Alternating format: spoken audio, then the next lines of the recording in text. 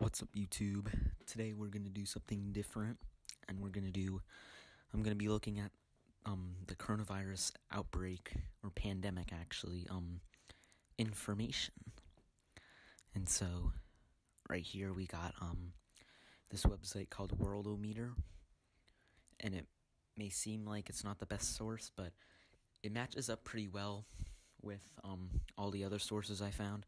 So, um pretty good with. I think this source is probably one of the best ones you can get.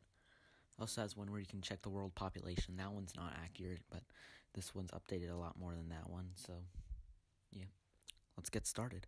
So before we start this, I have to say, even though I said this might be probably my favorite source, this isn't the best. Definitely, other ones might be better. I'm not saying this one is the best. And of course, this any information may be wrong in any way, shape, or form. So I'm just going to use this because it seems okay. Alright, so enough of that. Let's get into the video.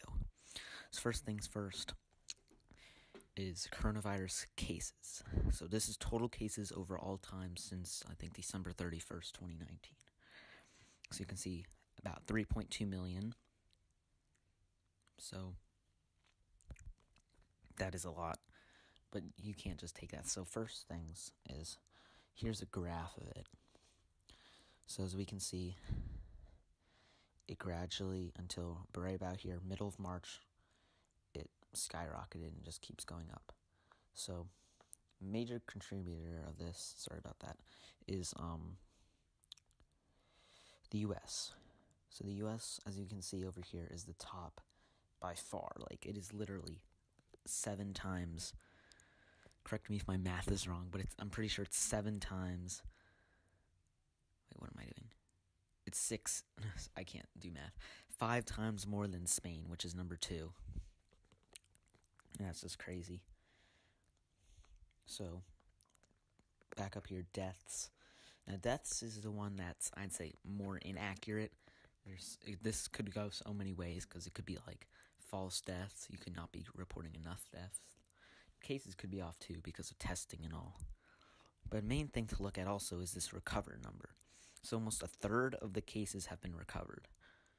So that's nice. We do have 2 million active cases, which is the highest it's ever been. That keeps going up. So we can see here.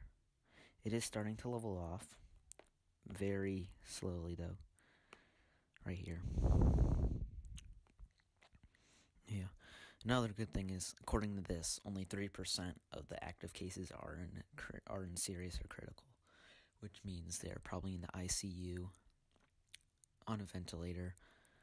Maybe I'm pretty sure that in mild condition could also mean hospital, like just not ICU. I'm not sure about that. Second of all, closed cases.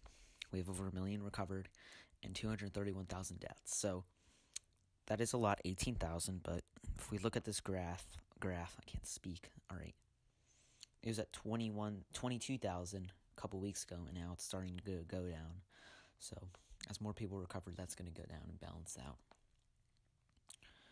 So, now we're going to go down to so it is affecting 212 countries and territories, which is pretty much everyone. I mean, there's like barely anything that's not on here. Some of them, this green shows that they're um fully recovered or some people died. Like there's no more active cases like Greenland and um, St. Barth and Anguilla. But enough of that. We're gonna look at um, U.S. right now. So as you can see, USA. So we're gonna click on this. So we have. This is where I live. I mean, most viewers probably are from the U.S the only video that like people were not from the US, I'm pretty sure was like my giveaway. So enough of that. So 63,000 deaths, a little bit over 1 million cases, and 150,000 recovered. So as you can see, a 30% death rate. But as more people recover, it's going to go down. Like as you can see here, it's going down slowly but steadily. So Here's some notes.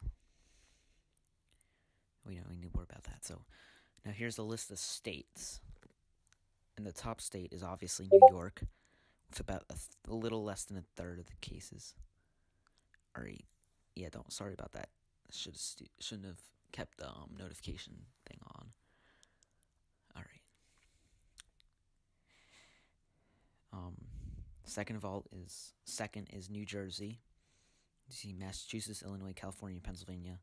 All the populous states are the ones that have the most, which is pretty obvious why because they have more people. As you can see, like Wyoming, Montana, Alaska, which are low population, have the least. So what I want to look at here is um, not the specific states exactly, but um, this graph right here, which I find interesting, total cases. So, so you can see right here, it doesn't look like much. It's just a straight up line after it increased. You can see that because this is the daily new cases. So each line is how many new cases were reported each day. So as you can see, it started really low, like you can't even see it at this part.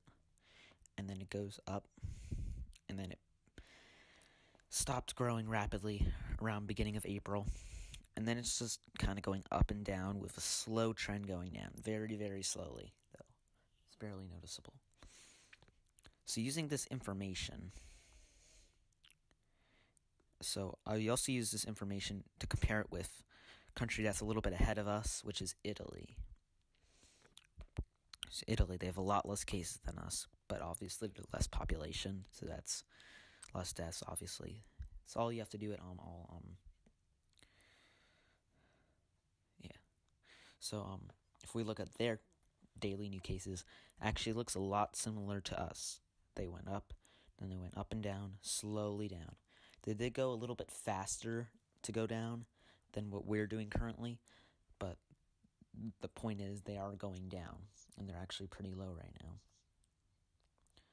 So what I hope and see active cases are even down from the peak. So that means more people are recovering than new cases, which is amazing.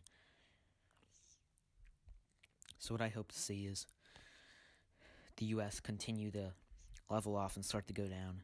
The only problem is some states are reopening, which is definitely not going to help it. It's probably going to prolong it longer and this might actually start to grow again, which is what I'm worried about.